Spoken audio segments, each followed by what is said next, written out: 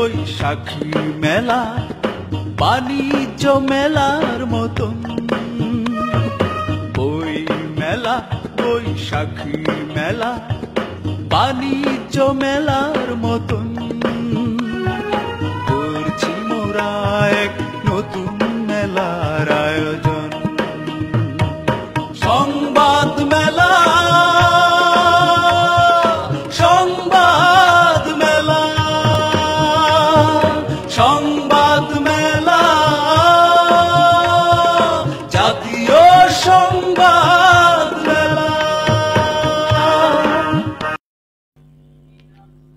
আসসালামু আলাইকুম। প্রিয় দর্শক শ্রোতা, সবাইকে শুভেচ্ছা ও প্রীতি জানিয়ে আজকে আমাদের জাতীয় সংবাদ সংগ্রহ সংস্থা এনএনসির বিশেষ আয়োজন পারিবারিক বন্ধন বিষয়ক আলোচনা, ভার্চুয়ালি আলোচনায় আজকের প্রধান অতিথি ঢাকা বিশ্ববিদ্যালয়ের অধ্যাপক ডক্টর মোহাম্মদ মাহমুদুর রহমান স্যার এবং সঙ্গে আছেন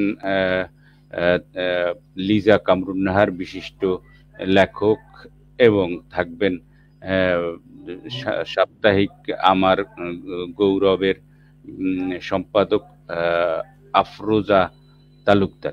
তো এ- মুহূর্তে আমাদের সঙ্গে সংযুক্ত আছেন লিজা কামরুন্নাহার। কেমন আছেন? জি আলহামদুলিল্লাহ ভালো আছি। আপনি কেমন আছেন? জি আলহামদুলিল্লাহ ভালোই আছি। আর আজকের প্রধান অতিথি এবং আরও একজন আমাদের অতিথি তারা আসতেছেন। তো আমরা ইতিমধ্যে শুরু করতে চাচ্ছি আমাদের সময়ের সাথে তাল মিলিয়ে। তো আজকের বিষয়টি গতকালকে আমরা একটি একটি সাধারণভাবে আলোচনা রাখছিলাম এবং বিষয়টি আজকেও আমরা পারিবারিক বন্ধনের বিষয়টিকে আমরা অত্যন্ত গুরুত্ব দিয়ে এনএনসি আমরা আবারও আলোচনা রাখছি। বিষয়টি আমাদেরকে বিশেষ করে ভাবিয়ে তুলেছে যেহেতু প্রতিটি পরিবারই এই সমস্যাটি কিছু না কিছু এই সমস্যায় জর্জরিত।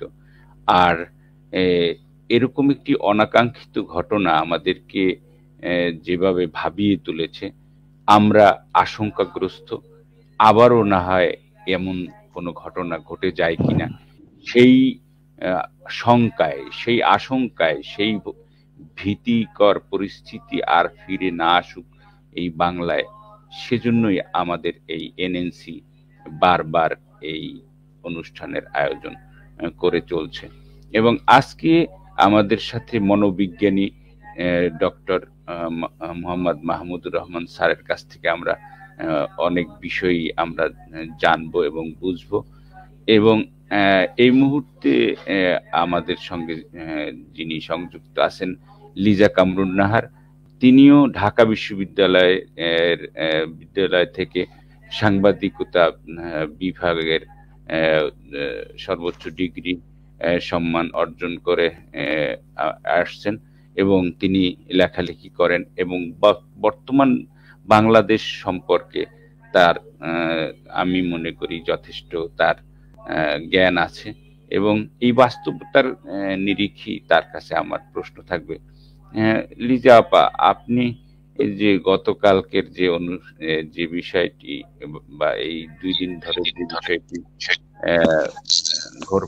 খাচ্ছে সেখানে আমরা যে যে বিষয়গুলো আমাদেরকে ভাবিয়ে তোলে। সেই বিষয়গুলোর আপনি কীভাবে দেখেন? যেমন দেখেন সেখানে মহসিন খানের কোনো অভাব ছিল না। তার যে মানসিক অভাবটা, সেই অভাবটা কোথার থেকে এবং কীভাবে এই মানসিক অভাবের মধ্যে শেষ পর্যন্ত আত্মঘাতী সিদ্ধান্ত নিতে তিনি বাধ্য হলেন? আপনি এই বিষয়টি কীভাবে দেখেন? ধন্যবাদ। মাসুম ভাই, আমি প্রথমে ভাষার মাস, ভাষার শহীদ, শহীদদের প্রতি শ্রদ্ধাবোধ জানিয়ে আজকের আলোচনায় অংশগ্রহণ করছি। যেহেতু আমি বাঙালি, আমার বাংলা, আমার ভাষা, তাই বাঙালির মনোভাব থেকেই বাঙালিদের মানসিকতার বিষয়টি আমাদের আজকের আলোচ্য বিষয় হবে। আমাদের স্যার সে বিষয়ে যথেষ্ট বলবেন। আমি যে বিষয়টি বলতে চাচ্ছি যে পারিবারিক বন্ধন একটি হচ্ছে মানুষের জীবনকে সুন্দর অর্থবহ করার জন্য গুরুত্বপূর্ণ বিষয়। কিন্তু মানুষ যতই বেশি উচ্চাকাঙ্ক্ষী হচ্ছে, সফল মানুষ হতে যাচ্ছে তখন মানুষের মানুষের, পরিবারের মানুষের মধ্যে একটি দূরত্বের সৃষ্টি হয়েছে। ক্যারিয়ার গড়ার গড়তে গিয়ে কিংবা নিজের অবস্থানের সাথে স্বার্থান্বেষী বিষয়টি যখন চলে আসে, তখন পরিবারের বন্ধনের মধ্যে অনেক ভাঙ ভাঙন শুরু হয়। আর আধুনিক সমাজ ব্যবস্থায় আমরা এটি খুব প্রখরভাবে দেখছি। কারণ আমরা জানি যে পরিবারের প্রত্যেকটি মানুষ আলাদা আলাদা বৈশিষ্ট্য সমন্বিত। কেউ কার সাথে একই বৈশিষ্ট্যের অধিকারী নয়। হ্যাঁ তো স্বাভাবিকভাবে একটু অমিল থাকবে, একটু মানসিকতার ভিন্নতা থাকবে। কিন্তু যখন সেই মানসিকতার মধ্যে দৈন্যতা চলে আসবে, দৈন্যতা থাকলে তো একজন আরেকজনকে বুঝবে না, একজন আরেকজনকে শ্রদ্ধার চোখে দেখবে না। আর সেখানে যে বিষয়টি চলে আসছে যে, দেখা গেছে যে একটি সময় আমাদের পরিবারগুলো খুব আমাদের পরিবারগুলো সংযুক্ত পরিবার ছিল। এখন সেগুলো টুকরো হয়ে নিউক্লিয়ার পরিবার পরিবারে পরিণত হয়েছে। যেহেতু নিউক্লিয়ার পরিবারে পরিণত হয়েছে, সেক্ষেত্রে যে আমাদের পারিবারিক পরিবেশটির পরিবর্তন হয়েছে।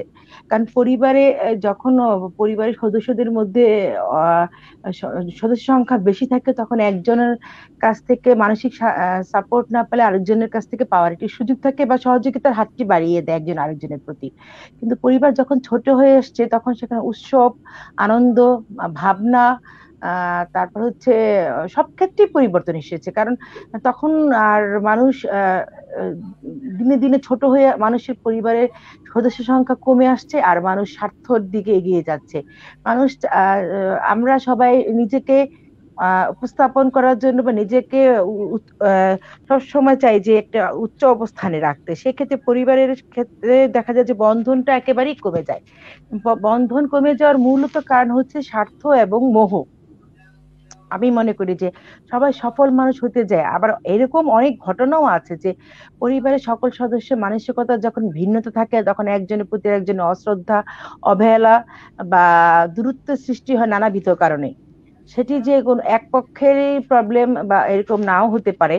একজন সফল মানুষের প্রচুর অর্থবিত্ত অবস্থান, সবকিছু থাকা সত্ত্বেও কেন আত্মঘাতী ভাবনার দিকে এগিয়ে যান? যখন উনি মানসিকভাবে হতাশাগ্রস্ত হয়ে পড়েন, নিজেকে একাকিত্বে ভুগে একাকি মনে করেন, একাকিত্বে ভোগেন, তখন উনি আর মানসিক সাপোর্ট না পেয়ে মনোবল হারিয়ে ফেলেন। মনোবল যখন নিজেকে আমরা যা দেখেছি যে আমাদের বেশ কয়েক বছর আগে একজন পুলিশ অফিসারের কর্মকর্তা ছোট্ট মেয়ে ঐশী তার মা বাবাকে খুন করেছিল। সেখানে সেখানেও তো আমরা দেখেছি যে দেখেছি যে একটা ছোট্ট সুখী সুন্দর পরিবার। একটি ভালো স্কুলে পড়তো মেয়েটি মা বাবা দুজনের ভালো অবস্থা তারপরও কতটা দূরত্ব সৃষ্টি হলে মা বাবার প্রতি কতটুকু অশ্রদ্ধাবোধ, ভালোবাসা কমে গেলে একজন আরেকজনকে একজন ছোট, ছোট্ট একটি মেয়ে তার মা বাবাকে খুন করার পদক্ষেপ গ্রহণ করেছে। তাহলে আমাদের সমাজ কলুষিত হয়ে গেছে। আমাদের সমাজে এখন অস্থিরতা কাজ করছে। আর এই অস্থিরতার মূল কারণই হচ্ছে স্বার্থ। দেখেন এক সময় পরিবারগুলোতে হাজব্যান্ড ওয়াইফের মধ্যে একটা চমৎকার সম্পর্ক ছিল। এখন কিন্তু সেই জায়গাটা অনেকটা কমিয়ে গেছে। এখন ডিভোর্সের সংখ্যা বেড়েছে, এখন ইগো প্রবলেম ইগো প্রবলেম যদি দেখা যায় সেখানে মানুষ খুব সহজেই সংসার ভেঙে যাওয়ার ভাবনাটি মাথায় নিয়ে আসে। ধৈর্যের একেবারেই কমে গেছে। দেখা গেছে যে এক সময় মা একটি, একজন স্বামী বা একজন স্ত্রী তার তার মা বাবার দায়িত্ব নিতেন। এখন তারা নিজের স্বার্থের কথা চিন্তা করে একা একাই বসবাস করতে চায়। তখন বৃদ্ধাশ্রমের সৃষ্টি হয়। মা মা বাবাকে ছেলে দেখতে চাচ্ছে না বা ছেলে মেয়ে মেয়ে মা বাবার প্রতি দায়িত্ব পালন করতে পারছে না স্বামীর হস্তক্ষেপের কারণে। নানাবিধ কারণে আমাদের সমাজে এই ভাঙন সৃষ্টি হয়েছে। আমরা যদি বলি যে শুধুমাত্র দু একটি ঘটনা দিয়ে সামগ্রিক বিষয়টিকে বিবেচনা করব, তা কিন্তু একেবারেই ঠিক হবে না। মানসিক স্বাস্থ্যের প্রতি যত্নবান হওয়ার জন্য পারস্পরিক সহযোগিতা, পারস্পরিক ভালোবাসা, শ্রদ্ধাবোধ পারিবারিক সম্প্রীতিটি খুব প্রয়োজন। সেক্ষেত্রে একজনের চেষ্টা কখনোই তা সফল হয়ে উঠবে না। সকলের সহযোগিতা এবং সহমর্মিতার পথটি এবং হাতটি সম্প্রসারণ করলে আমরা পরিবারকে সুন্দর এবং সাবলীল ভাবে গড়ে তুলতে পারব। তাহলে সেই পরিবারের সন্তানেরা হয়ে উঠবে মেধাবী সেই পরিবারে থাকবে আনন্দমুখর উৎসব, সে পরিবারে থাকবে শ্রদ্ধাবোধ সেই পরিবারটি একাকিত্বে ভুগবে না সেই পরিবারে একের প্রতি অন্যের ভালোবাসার চরমে থাকবে, একটি সুখী সমৃদ্ধ পরিবার গড়ে উঠবে। কিন্তু এখন আমরা ইগো এবং আত্মসম্মানবোধের জায়গাটা ঠিক রাখতে গিয়ে এত বেশি মোহগ্রস্ত বা এত বেশি স্বার্থপর হয়ে উঠেছে যে অন্যের প্রতি শ্রদ্ধার জায়গাটাও রাখি না। তবে হ্যাঁ একজন মানুষ ধৈর্য কতটুকু রাখতে পারবে সেটাও একটা মানসিকতার বিষয়। সেজন্য পরিবারের সকলের সহযোগিতা খুব বেশি প্রয়োজন। একজনের ভূমিকা সেটি কখনোই সফল হয়ে উঠবে না। আর যে কোনো ঘটনার পেছনেই ঘটনা থাকে। একটি দুর্ঘটনার পেছনে যদি কোনো ঘটনাই না থাকে, তাহলে দুর্ঘটনার দিকে ধাবিত হবে কেন? সেই দুর্ঘটনাকে জানতে হলে আমাদের তার পারিবারিক ব্যাকগ্রাউন্ড তার নিজের অবস্থান, নিজের ভাবনা, মানসিকতা, তার তার শূন্যতাকে জানতে, আমাদের জানতে হবে। এক, একদিনে বা একটি সময়ের জন্য এই শূন্যতা সৃষ্টি হয় না। অনেকটা বছর, অনেকটা লম্বা সময় পরিপ্রেক্ষিতে একজন মানুষ একা হয়ে যায়। কাজে আমি বলব, এই ব্যাপারে চমৎকার আমাদের স্যার বলতে পারবেন যে, মানসিক স্বাস্থ্যের জন্য সবচেয়ে বেশি বোধহয় প্রয়োজন ভালোবাসা, সহযোগিতা, সহমর্মিতা এবং সম্প্রীতির সম্পর্ক। ধন্যবাদ। জি অত্যন্ত সুন্দর এবং প্রশ্ন করার আগেই উত্তরগুলো দিয়ে দিয়েছেন লিজা কামরুন নাহার। তবে এরকম একাধারে সব বলে গিয়েছেন কিন্তু আমরা আরও একটু বিস্তারিত শুনব। স্যার আসতেছেন তো এর মধ্যে আমরা আমাদের আলোচনা চালিয়ে রাখছি।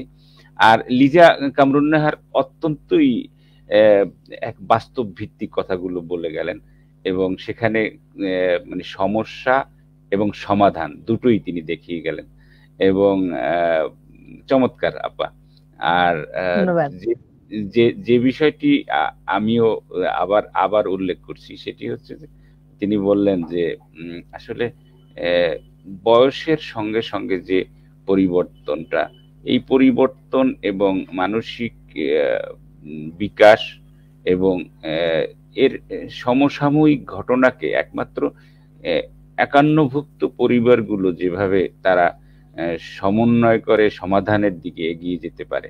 কিন্তু একক পরিবারের তারপরে আবার সেই পরিবারের সদস্যদের সঙ্গে যদি অমিল, অমত, দ্বিমত এবং পারিবারিক সম্পর্ক বিচ্ছিন্ন থাকে, তখন আর শেয়ার করার এবং সমাধানের পথ খুঁজে পায় না। আর তেমনি হয়তো বা সমাধানের পথ খুঁজে না পাওয়া লোকটি লাইভে এসে তার হতাশার কথাগুলোই প্রকাশ করে চলে গেলেন।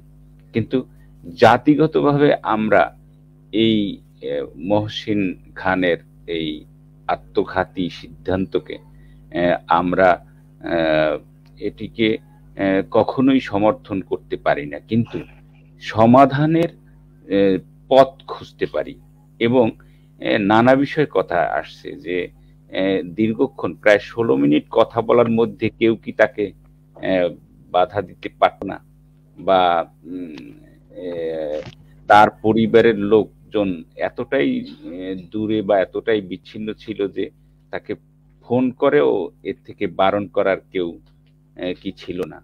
তো এতটাই বিচ্ছিন্ন ছিল যে একাধারে ষোলো মিনিট কথা বল, বলে তার সর্বশেষ দৃশ্যে আমরা যেটুকু দেখেছি, যে তার পিস্তলের লাইসেন্সটাও প্রদর্শন করে বৈধ তার প্রমাণ দেখিয়ে, একদম সুস্থ, সবল এবং ধীর স্থিরভাবে যে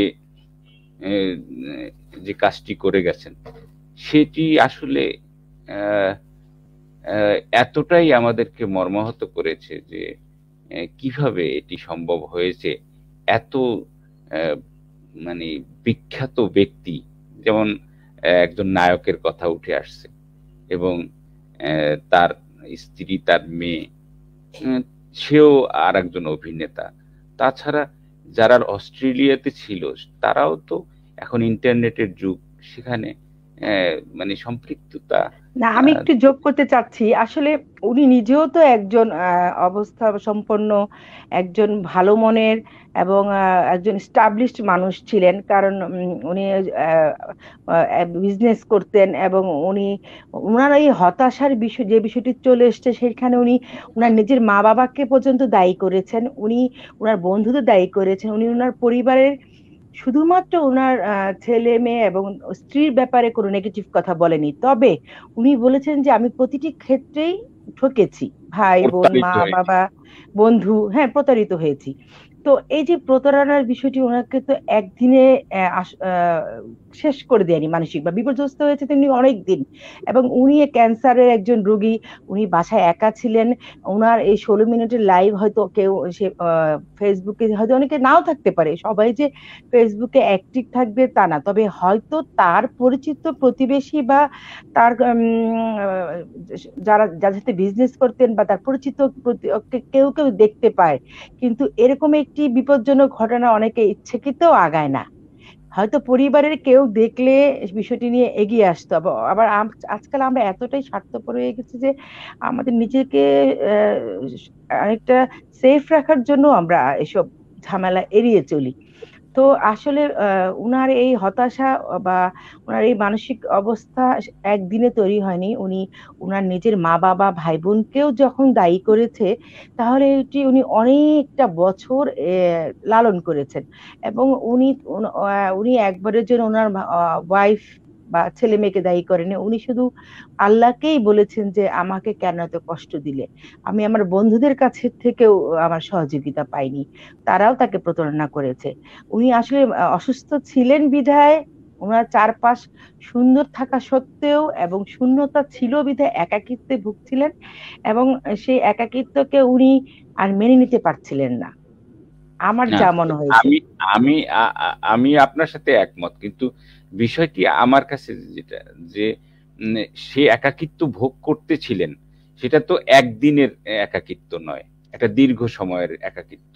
তো এবং তিনি যে কাজগুলো করেছেন তার হাতে লেখা না তিনি প্রিন্ট করেছেন দরজায় যে লেখাটা সেখানে প্রিন্ট তো ঘরে হয়নি নিশ্চয়ই কোনো দোকানে হয়েছে।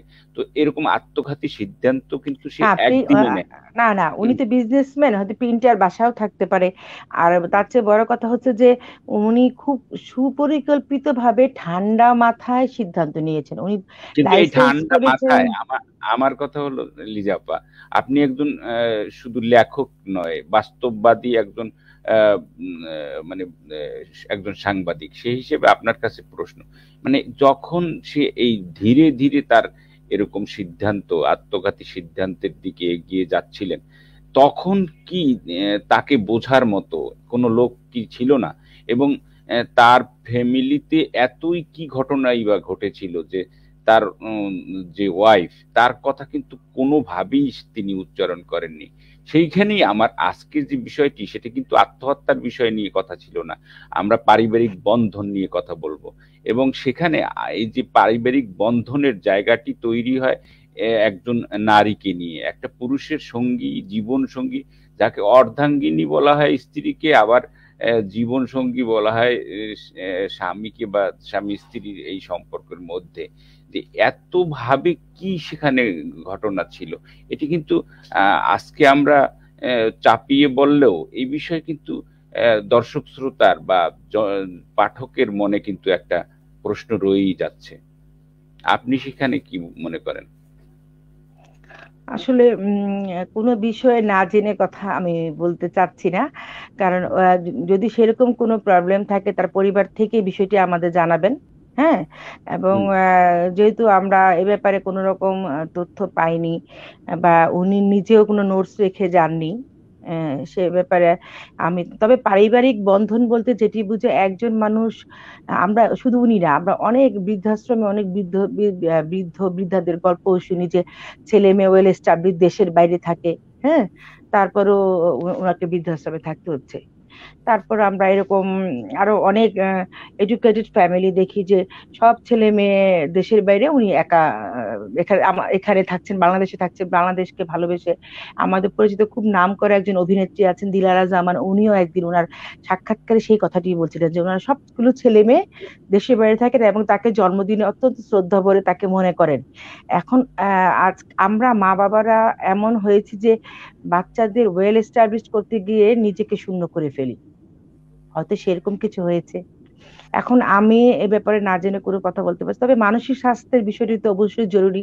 কারণ উনি মানসিকভাবে হতাশাগ্রস্ত হয়েছেন বিধায় উনি সুইসাইড করার সিদ্ধান্ত নিয়েছেন। এটি তো উনি পরিকল্পিতভাবে করেছেন। উনি লাইসেন্স বন্দুকে পিস্তলের লাইসেন্স করেছেন, নবায়ন করেছেন, উনি নোটস তৈরি করেছেন, উনি মরে মরে গিয়ে পড়ে থাকবেন একা, তাই যাতে উনি ওনার লাশটা সঠিকভাবে দাফন হয়, সেজন্য উনি পাবলিকলি বিষয়টি তুলে ধরেছেন। তার মানে উনি যাই করেছেন অনেক দীর্ঘ মেয়াদি পরিকল্পনা থেকে কাজটি করেছেন। আর অন্য বিষয়গুলো সম্পর্কে আমি আসলে সেভাবে কথা বলতে চাচ্ছি না এভাবে ওনার পরিবার থেকে আমরা সঠিক তথ্য জানতে পারব যেহেতু এ ব্যাপারে কোনো কথা আসেনি আমরা। তবে আপাত দৃষ্টিতে মনে হতে পারে যে কোথাও ওরা কোথাও শূন্যতা ছিল। শূন্যতা তো ছিলই বটে। ছিল আপাত না এটা তো দৃশ্যমান। তার শূন্যতার কথা তো তিনিই বলে গেলেন। এবং এ কথা যদিও ভিডিওটিকে পরবর্তীতে বন্ধ করে দেয়া হয়েছে কিন্তু ইতিমধ্যে তো কোটি দর্শকের দেখা হয়ে গেছে। এবং উনার উনি যে কাজটি করেছে উনি তো আমি মনে করি যে সঠিক পন্থায় কাজটি করেননি কারণ উনি আরও এই একটি বিষয়কে পাবলিক পাবলিকলি যখন ফোকাস করেছেন তখন এটি আমরা ফেসবুক এখন এমন একটি সহজ মাধ্যম হয়ে গেছে যে মোবাইল সবার হাতে থাকে। সব সব বয়সের বাচ্চা থেকে শুরু করে সব বয়সের মানুষের হাতে এখন মোবাইলটি থাকে এবং সবাই বিষয়টি দেখেছে যে কীভাবে উনি নিজে নিজের আত্মঘাতী একটি ডিসিশন নিয়েছে এবং কত রকম ভাবে উনি হতাশাগ্রস্ত হয়ে দায়ী করে গেছেন অনেককে ইভেন তার মা বাবাকেও ভাই বোনদেরকেও সো এই বিষয়টি তো উনি একেবারেই সঠিক করেছেন বলে আমি মানছি না। না না এটা আদৌ আদৌ আদৌ এটা উনি ঠিক করেননি। উনি যুক্তি দেখিয়েছেন যে আমি একা লাশ আমার লাশ একা পড়ে থাকবে দাফন হবে না তাই আমি পাবলিক কাজটি করেছি পাবলিকলি কাজটি করেছি। কিন্তু উনি যদি জনকল্যাণকর ভাবনা থেকে বিষয়টি ভাবতেন তাহলে উনি এই কাজটি আদৌ করতেন না। একজন হতাশাগ্রস্ত মানুষের আসলে কিছু মাথা বা ভাবনার হয়তো অনেকটাই বিকৃতি ঘটে যায় যে সেখান থেকে উনি এই কাজটি করেছেন। তবে আপনি একবার ভেবে দেখেন উনার ছেলে মেয়ে, উনার ওয়াইফ উনার পরিবারের কি কি চেপে যাচ্ছে? আমরা যখন সাধারণ মানুষ বিষয়টি নিয়ে নড়ে বসেছি, তাহলে উনার পরিবারের লোকজনদের উপর দিয়ে কি যাচ্ছে? একবারে সেটা ভেবে দেখেন। তবে এই ধরনের ঘটনা আমরা একেবারেই অপ্রত্যাশিত ঘটনা। এই ধরনের ঘটনা বা এই ধরনের নিউজ যাতে কখনই ফেসবুকে প্রকাশিত না হয় সেই বিষয়টি বিটিআরসি দেখা উচিত। কারণ এখান থেকে অন্যেরাও আমার মনে হয় অনেক রকম পদক্ষেপ নিতেও পারে আবার অনেক ভুল শিক্ষা গ্রহণ করতে পারে। অবশ্যই। এই বিষয়টি মানে আত্মহত্যায় মানে উস্কানি যাকে বলে উস্কানি মূলক এখানে হতে পারে। এবং সেইটা কোনোভাবেই সমর্থনযোগ্য নয়। এবং তিনি যে ভুলটি করেছেন সেই ভুল আমরা এই বাংলার মাটিতে আর দেখতে চাই না। তবে আমাদের সতর্ক যে সংকেত তিনি দিয়ে গেছেন, সেখানে যেই সতর্কগুলো রয়েছে আমি প্রধানত তার টোটাল ভিডিও থেকে এবং এ পর্যন্ত পর্যালোচনা থেকে যে বিষয়টি পাই, সেটি হচ্ছে প্রতারণা। এই প্রতারণা কীভাবে বন্ধ করা যায় সে বিষয়ে বাংলাদেশের বর্তমান পরিস্থিতিতে প্রতারণা একটি মানে একটি ঘাতক মানে একটি আত্মঘাতী একটি মানে বিপদগ্রস্ত করছে আমাদের জাতিকে। সে বিষয়ে আমরা কথা শুনব বিশিষ্ট সাংবাদিক আফরোজা তালুকদারের কাছ থেকে। আফরোজা তালুকদার, আপনি কি মনে করেন যে তিনি কিন্তু বলেছেন যে, আমি মানে আমার ফ্যামিলির লোক ছাড়াও আমি বন্ধু যাকে নিজের হাতে খেয়ে খাইয়ে দিয়েছি, সেও আমার সাথে প্রতারণা করেছে এবং সেখানে পাঁচ কোটি টাকার মতো এরকম একটা অ্যামাউন্ট ই করেছেন। তো এই যে এবং বলেছেন যে, আমি তো কোনো মানুষের টাকা এভাবে মেরে খাইনি, কিন্তু মানুষ কেন আমার টাকা মেরে খাইলো? বা এই যে এই যে মানে টাকা মেরে খাওয়া বা মানে বিশ্বাসঘাতকতা বা প্রতারণা, এই সমাজের এই চিত্রগুলো ফুটে উঠছে তার আলোচনায়। আপনি এই বিষয়টি একটু খুলে বলবেন। জি ওয়ালাইকুম সালাম।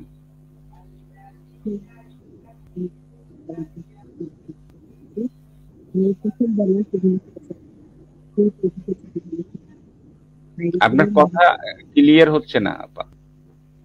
আমি বাইরে ছিলাম বাইরে থেকে এসে যেহেতু জয়েন করেছি প্রথমে আমি জয়েন করে নিই সেজন্য সবাইকে শুভেচ্ছা জানানো হয়নি।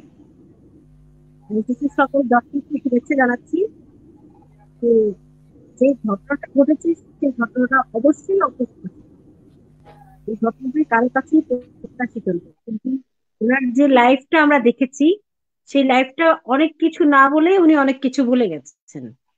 আপা যেরকম বলল বইয়ের বিরুদ্ধে কিছু মানে ওনার স্ত্রীর বিরুদ্ধে কিছু বলেননি, ওনার সন্তানদের বিরুদ্ধে কিছু বলেননি, কিন্তু অনেক কিছু কিন্তু উনি না বলেও বলে গেছেন।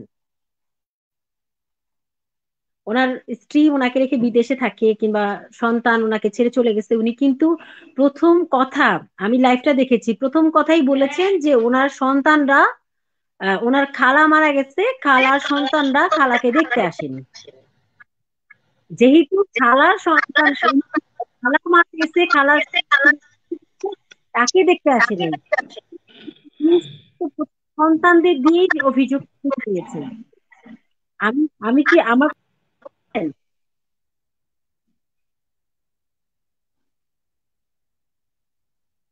আমার কথা কি আপনারা শুনতে পাচ্ছেন?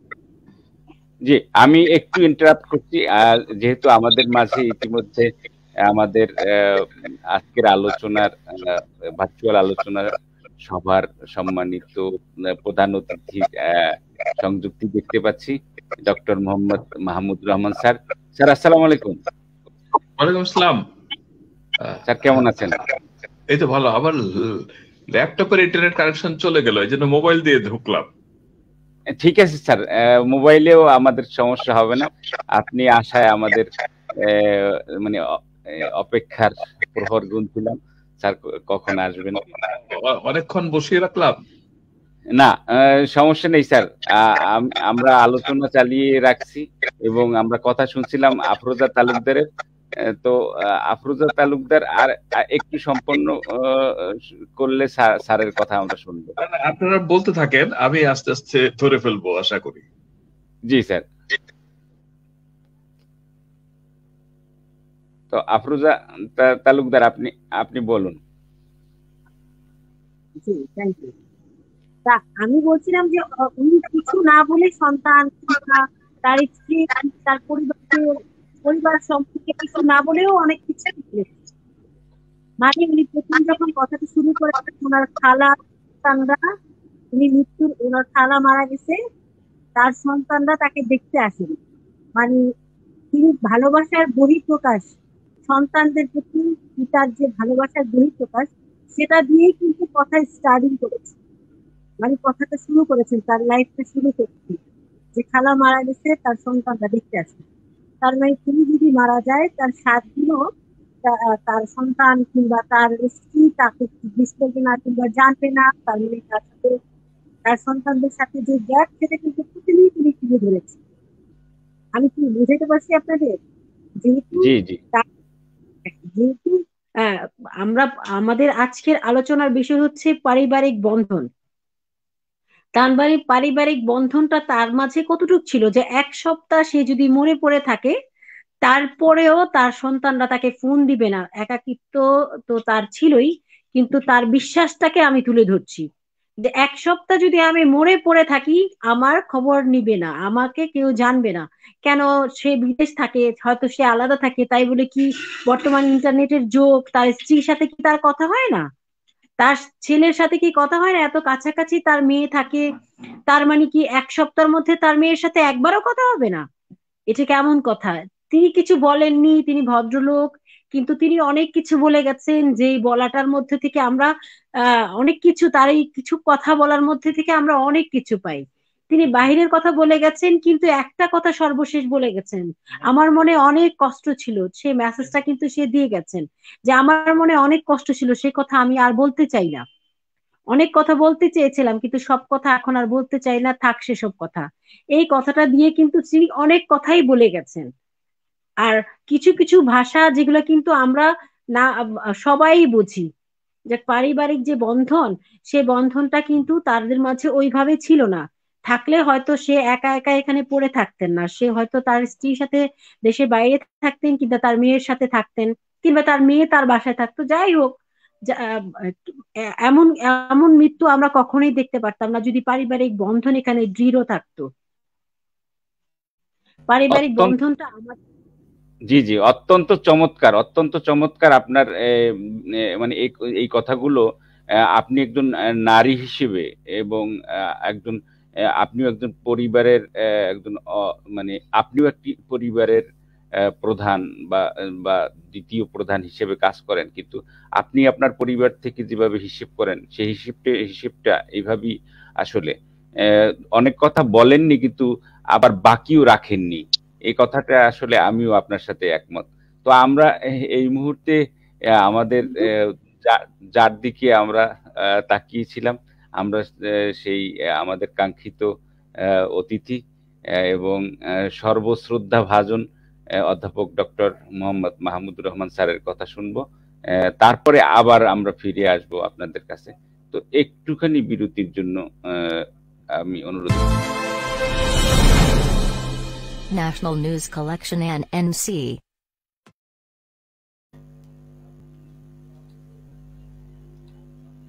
এখন আপনাদের সামনে এ বিষয়ে একটু মানে নিজের থেকেই স্যারের কাছে আমি শুনতে চাইব যে আসলে পারিবারিক বন্ধনের মানে সুফল এবং কুফল। এবং স্যার যেহেতু একজন মনোবিজ্ঞানী এবং এই মনস্তাত্ত্বিক বিষয়গুলো স্যার একটুখানি তুলে ধরার জন্য অনুরোধ করছি।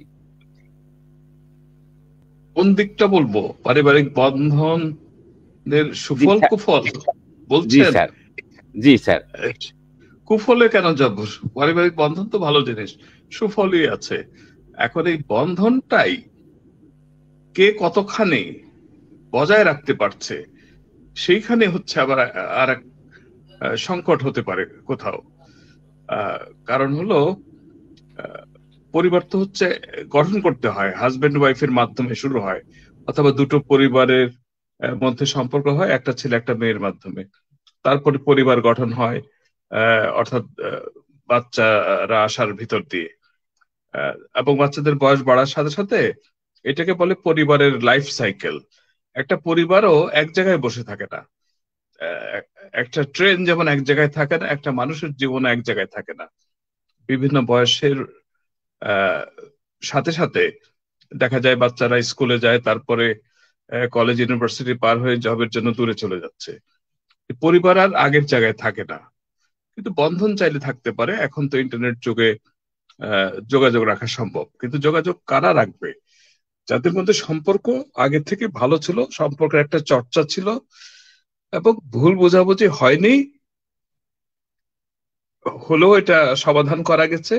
তাহলে হচ্ছে বন্ধন সুদৃঢ় আছে। অনেক সময় কিন্তু পরিবারের ভিতরেই অনেক মান অভিমান শুরু হয়ে যায়। রাগারাগিও হয় সেপারেশন হয় ডিভোর্সও হয়ে যায়। আবার ডিভোর্স করেও ফিল করে অনেকে যে আবারও যদি ফিরে পেতাম।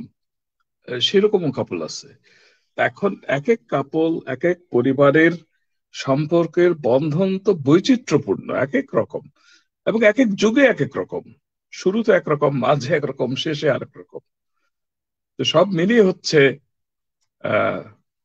কি বলব, এর শক্তি যেমন আছে, এর মধ্যে সংকটও আছে। তো সংকট নিরসনের জন্য আমাদের ব্যবস্থাও থাকা দরকার।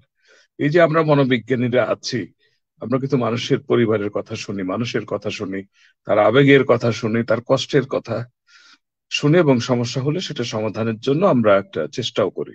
আমাদের দেশে এমনই অবস্থা, আমরা, আহ, এগুলার খোঁজ খবর রাখি না, যেতে চাই না। অনেক সময় পরিবারের ভিতরের যারা মানুষ ক্লোজ মানুষ বন্ধু বান্ধব তারাও হয়তো অনেক সময় খোঁজ খবর রাখে ডিল করে। এখন আপনি যার আলোচনা করছিলেন, ওই রিয়াজ সাহেবের শ্বশুর, উনি তো শুধু শেষের কথা বলে ওনার অভিমান প্রকাশ করে চলে গেলেন। কিন্তু উনি যদি এসে একটু কথা বলতেন, আমাদের মতো কারোর সাথে, ওনার রাগের কথাই বলতেন, ওনার জীবনের কষ্টের কথা বলতেন, তাহলে হয়তো আমরা খোঁজার চেষ্টা করতাম যে কীভাবে ওনার মনে শান্তি, স্বস্তি দেওয়া যেতে পারে। যদি পরিবারের কাছের মানুষ কাছে থেকেও দূরে হয়ে যায়, তাহলে অন্য মানুষ তৈরি করতে হবে। অন্য বলতে সেটা বন্ধু হতে পারে ওনার খেলার সাথী হতে পারে ওনার কলিগ হতে পারে, কাজ করতে গিয়ে প্রতিনিয়ত আমরা কত মানুষের সাথে পরিচয় হয়, কত মানুষ হারিয়ে যায়, দূরে থাকে, কিন্তু যাদেরকে আমরা ফিল করি। তো আস্তে আস্তে উনি যোগাযোগ বাড়াতে পারতেন ওনাদের সাথে। তো সেটা হচ্ছে যে ইনিশিয়েটিভের ব্যাপার। মানুষ ডিপ্রেশনে থাকলে অনেক সময় ইনিশিয়েটিভ দিতে পারে না। তো ওনার কি ডিপ্রেশন ছিল? নাকি ওনার কি কষ্ট ছিল? ডিপ্রেশন থাকলে ডিপ্রেশনের চিকিৎসা আছে। তো এই যে ব্যাপারগুলো, আমাদের দেশে মানুষের পারিবারিক বন্ধন তো অবশ্যই গুরুত্বপূর্ণ, কিন্তু বন্ধনটাকে টিকিয়ে রাখার মজবুত করার জন্য আমাদের কিছু দক্ষতা লাগবে। আমাদেরও কিছু যোগ্যতা লাগবে, আমাদেরও মেন্টাল ফিটনেস লাগবে। আমি যদি নিজেই মেন্টালি আনফিট হই, কিংবা আমার পার্টনার যদি আনফিট হয়, তখন যেটা হচ্ছে, আমরা কিন্তু কাছে থেকেও দূরে মানুষ হয়ে যাচ্ছি। যে যারটা নিয়ে ব্যস্ত আছি। সময় দিতে পারছি না, সময় নিতে পারছি না। তো এটা একটা সংকট। তো এই সংকটটা বোঝার জন্য হলো আমার মনে হয় কিছু মানুষ থাকা দরকার যারা বুঝবে, এমনি কাছের যারা বন্ধু বান্ধবী, তারা যদি একটু সচেতন হয়, যদি রিয়েলি ক্লোজ হয়, তারা কিন্তু ধরে ফেলবে। There is some issue they need help or they need some support এখন উনি যে কোন অবস্থায় ছিলেন, হয়তো পরিবারের মানুষরা কথা বললে তারা বলতে পারবে, কিন্তু এখন তো দেরি হয়ে গেল আর কি। উনি চলেই গেলেন। তো তো ওনারই চলে যাওয়া থেকে যদি অন্য যারা একাকিত্বে ভুগছে, কষ্টে আছে, তাদের জন্য আমরা কি করতে পারি? সেটা একটা ভাবা যেতে পারে। আবার মনে হয় এরকম একা থাকাটা ঠিক না। একটা যোগাযোগের ভিতরে থাকা ভালো। একটা কমিউনিটি লিভিং কমিউনিটি হাউজিং এর দিকে আমরা যেতে পারি কিনা? আমি বৃদ্ধ নিবাস বলতে চাই না। আমাকে জিজ্ঞেস করেছিল একটা টেলিভিশন চ্যানেল কালকেই কথা বলছিলাম? তো আমি বললাম যে না, আমাদের কালচার অনুযায়ী আমরা বৃদ্ধ নিবাসকে প্রমোট করতে চাই না। তবে আমরা shared housing shared community living করতে পারি। আমার চেনা জানা মানুষ, আত্মীয় স্বজন বন্ধু বান্ধব ওদেরকে বললাম যে, চলো আমরা ওই, ওইখানে থাকি। মাঝে মাঝে বেড়াতে যাই কিংবা ওখানে একটা বাড়ি করি, বাগান বাড়ি করি, যেখানে গিয়ে আমরা একটু সময় কাটাবো, একসাথে ইয়ে করব, বসে চা খাব, একটু গল্প করব। এটাই আমাদের ক্লোজনেস লোনলিনেস বৃদ্ধি ক্লোজনেস বাড়াবে লোনলিনেস কমাবে। তো এরকম আমরা কিছু কিছু কমিউনিটি সাইকোলজি উদ্যোগ নিতে পারি। আমরা শুধু অ্যাবনর্মাল সাইকোলজি নিয়ে বসে থাকব না। আমরা মানুষ কি করে ভালো থাকবে? কেবল আমরা মানুষ অসুস্থ হলে আমাদের কাছে আসবে সেটা না। মানুষ ভালো থাকার জন্য কীরকম লাইফ স্টাইল কীরকম সামাজিক, পারিবারিক এবং বাসস্থানের পরিবেশ হবে, কীরকম রিক্রিয়েশন হবে, তারপরে কোন পর্যায়ে কীরকম যত্ন কার দরকার সেটাও যদি আমরা একটু খোঁজ খবর নেওয়ার মধ্য- থাকতে পারি তো এটা একটা, একে অন্যের যত্ন নিতে হবে। অনেক সময় হয় কি, নিজেরটা নিজে নেয় না, অনেক আছে অন্যেরটা নেয়। যেমন অনেক মা আছে, বাচ্চাদের জন্য পাগল, বাচ্চাদের যত্ন নেবে, কিন্তু নিজের যত্ন নেবে না। তো সেটা মনে করে দেওয়ার মতো একটা কাছের মানুষ থাকা দরকার বলবে যে আচ্ছা আপনি নিজে কেমন আছেন কিংবা তুমি কেমন আছো? যে ক্লোজ যদি হয় ভাবে বলবে আচ্ছা তোমার এইটা চেক আপ করলা কিনা, ওইটা যে একটু সমস্যা মনে হচ্ছে, চলো একটু চেক আপ করি, একজন ডক্টর দেখাই। অথবা একজন সাইকোলজিস্টকে দেখাই, যদি কারও সুইসাইডাল চিন্তা হয়। এই সুইসাইডাল কেস তো আমাদের কাছে আসলে আমরা ধরে বসবো যে কেন মরতে হবে? এটা তো ডিবেট শুরু করে দেবো আমরা, এটা হালকা ভাবে আর কি। এসছে, আমার কাছে এরকম কেস এসছে। ও আমাকে চ্যালেঞ্জ করছে কি কেন মরতে হবে, কেন বাঁচতে হবে? আমি কেন মরতে হবে? আসো দুইজনেই দুজনের কথা শুনি। বলতে বলতে তারপরে কিন্তু বাঁচানো গেছে। কারণ মানুষের মনে পায় যেন গভীরে একটা গিভ আপ করার টেন্ডেন্সি আছে। আমাদের প্রত্যেক এই অনেকে অনেকের কঠিন কাজ করতে করতে অর্ধেক করে ছেড়ে দেয়। হয়তো ডিপ্রেসড কি হবে? করল যা না করল তা। এরকম এক ধরনের গিভ আপ করার মতো কিছু মানুষের মনোবৃত্তি এসে যায়। তো তখন একটু ও এনকারেজ করার যে না, তুমি এত দূর এসছো, বাকিটাও চেষ্টা করো। তুমি লাইফে এত দূর বেঁচেছ, তুমি দেখো যে আরও বেশি দিন বাঁচতে পারো কিনা। বাঁচার মতো করে নিজের যত্ন করো। তো এইটা বলার মতো পরিবারের মানুষ, কাছের মানুষ, বন্ধু মানুষ থাকা দরকার। তখন যদি দেখা যায় আমি শুনলাম যে এক- একজনের কথা কুমিল্লা অঞ্চলে কোন এক গ্রামে এক ভদ্রলোক একশো বিশ বছর বেঁচেছেন। এবং সুস্থই ছিলেন। সুস্থ অবস্থায় একেবারে একশো বিশ। তা আমি একটু জিজ্ঞেস করলাম যে উনি কীভাবে বাঁচলেন? উনি কেমন ছিলেন? যে উনি তো মানুষের মধ্যে থাকতেন। মানুষের মধ্যে মানে উনি যে আছেন এইটা একেবারে টের পাওয়া যেত। উনি সবার সাথে যোগাযোগ রাখতেন অন্যরাও তার খোঁজ রাখতো। অর্থাৎ সোশ্যাল কানেক্টেড পার্সন এইটা ওনাকে রেখেছে। আমার এক ভাই আছে চাচাতো ভাই। উনি ইয়ে লয়ার, ব্যারিস্টার। অনেক বয়স হয়ে গেছে। তো উনি এখনও চোখে দেখতে অসুবিধা হয়। উনি অফিসে যান চেম্বারে বসেন। উনি বলেন যে, এই কাজ আমাকে বাঁচিয়ে রাখবে। কাজের ভিতরে থাকেন। অর্থাৎ মানুষের মধ্যে থাকেন। ওনার যে আগের কাজ, ওটার কন্টিনিউটি থাকে। আমাদের এখানে দেখা যায় যে অনেকে, এই যে এই ভদ্রলোক, উনি যেটা বলছিলেন, উনি একসময় ভালো ব্যবসায়ী ছিলেন। তো এখন উনি ব্যবসা নাই। রিটায়ার্ড উনি একা। তো উনি যে ব্যবসার অভিজ্ঞতা ছিল, উনি জুনিয়রদেরকে ব্যবসার শেখাতে পারতেন, ব্যবসার পরামর্শ দিতে পারতেন। তাহলে জুনিয়রদের সাথে তার দেখা হতো, কথা হতো। কাজ তৈরি করে নিতে হবে। আমাদের দেশের সিনিয়র সিটিজেনদের যে অভিজ্ঞতা, যে দক্ষতা, কিংবা যে কোয়ালিফিকেশন তাদের আছে, এইটাকে কাজে লাগানো দরকার। হয়তো সে তার অরিজিনাল কাজ এখন আর করে না রিটায়ার্ড কিন্তু তার যে বুদ্ধি, তার যে প্রজ্ঞা, তার যে, কি বলা যায় ওয়াইজ দৃষ্টিভঙ্গি, অনেক সময় কেউ যদি এসে তার সাথে জাস্ট আলাপ করে, কথা বলে ওনাকে একটু কাজে লাগায়। তাহলে কিন্তু উনিও অনার্ড ফিল করেন, উনিও কিন্তু মানুষের সাথে যুক্ত হতে পারেন। তো আমাদের এই কমিউনিটি সাইকোলজি লাগবে, আমি যেটা বলতে চাচ্ছি। আমরা খালি পরিবারের উপর নির্ভর করলে হবে না। গোটা কমিউনিটি একটা পরিবার, গোটা এক একটা অঞ্চল এক একটা পরিবার হয়ে উঠতে পারে। যদি আমরা সেইভাবে মানুষে মানুষের যোগাযোগ গুলোকে চর্চা করি, এবং সেই জন্য মানুষে মানুষের বৈষম্যগুলো দূর করতে হবে। কেউ উঁচু, কেউ নিচু ও তুচ্ছ কেউ শিক্ষিত, কেউ অশিক্ষিত, এই যে অবস্থায় আছে এইটা কিন্তু খুব একটা ইয়ে না, ভালো অবস্থার না। আমরা একটা মিনিমাম স্ট্যান্ডার্ডে যেন থাকতে পারি মিনিমাম একটা যেন কাছাকাছি থাকতে পারি তাহলে কিন্তু আমাদের সামাজিক যোগাযোগ দূরত্বটা বাড়বে না, কমবে। তখন আমরা কিন্তু ক্লোজ ফিল করব। আমাদের জানি না কোথা থেকে এগুলো এসেছে। আমাদের এখানে দেখা যাবে যে নানা সেগ্রিগেশন নানা ক্ষুদ্র ক্ষুদ্র দলে বিভক্ত হয়ে পড়ি। কিন্তু আমি যেসব দেশে গিয়েছি, ভ্রমণ করেছি, দেখেছি যে উঁচু নিচু কোনো ভেদাভেদ নাই। তাদের যখন বার্থডে হচ্ছে, সবাই মিলে জয়েন করছে, একসাথে বসে খাচ্ছে। আমরা একসাথে বসতেও পারি না।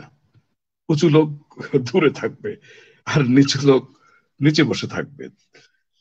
এটা হয়তো বা আমাদের সামাজিক দূরত্বটাও বেশি হয়ে গেছে।